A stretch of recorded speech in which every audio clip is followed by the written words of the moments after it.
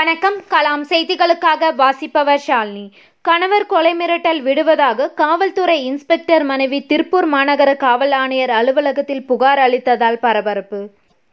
திருப்பூர் வீரபாண்டி காவல் நிலைய இன்ஸ்பெக்டராக பணிபுரிந்து வருபவர் மணிமொழி.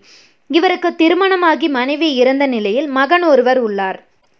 இந்நிலையில் கர்நாடகா மாநிலம் மாண்டியாவை சேர்ந்த திருமணமாகி கணவரின் பிரிந்து தனது மகளுடன் வாழ்ந்து வந்த ராணி என்ற பெண்ணை இன்ஸ்பெக்டர் மணிமொழி இரண்டாவதாக திருமணம் செய்து கொண்டுள்ளார்.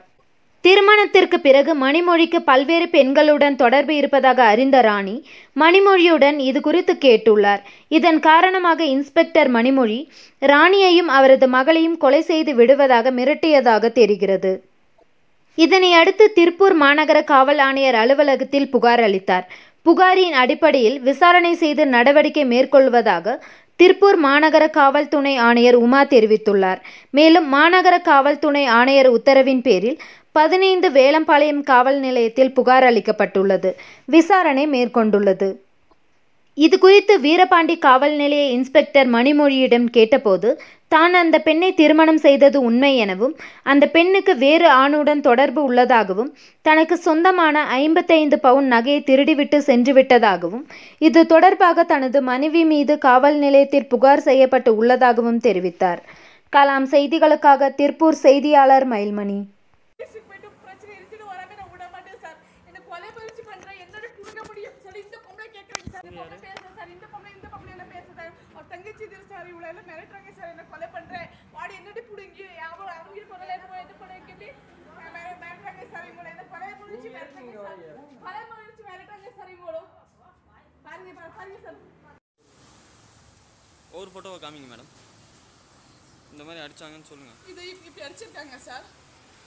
தூங்க உலக்கி இப்படி வந்து அடிச்சிருக்காங்க. இது காலு கடிச்ச சார். இது காலு கடிச்சது. இது முட்டி கடிச்ச சார்.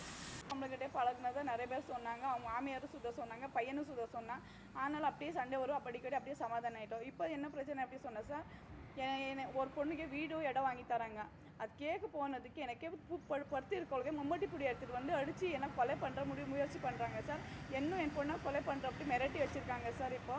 எனக்கு கொஞ்சம் உதவி பண்ணுங்கள் தயவு செய்து எனக்கு உதவி பண்ணுங்க. எங்கே இப்போ அதுக்காக என்ன பண்ணியிருக்கீங்க இப்போ சார் நாங்களும் இங்கே டிசி ஆஃபீஸ்க்கு வந்திருக்கோம் சார். கமிஷனர் வைத்திரி சார் ஆஃபீஸ்க்கு வந்திருக்கோம். அவங்களெல்லாம் ஹெல்ப் பண்ணுற அப்படி தான் சொன்னாங்க. இப்போ என்ன சொல்கிறாங்க ஒரு க புருஷ பண்ணாட்டி பிரச்சனை. நீங்கள் பேசி தீர்மானம் பண்ணிக்கோங்க. அப்படி தான் சொல்கிறாங்க சார் இங்கே. ஆனால் உங்கள் மேலே நீங்கள் வந்து இது மாதிரி நான் உங்களுக்கும் வேற ஒரு ஆண் ஆணுக்கும் தொடர்பு உள்ளதாகவும் நீங்கள் ஐம்பத்தஞ்சு பவுன் நகை திருடிட்டா உங்கள் சார் இருந்தால் அதை காமிக்க சொல்லுங்க. சார் நான் ஒத்துக்கிறேன் சார். அது அந்த மாதிரி நான் அவங்கள அவங்களுக்கு பண்ணியிருக்கிறதெல்லாம் நான் காமிக்கிறேன் சார். சரி.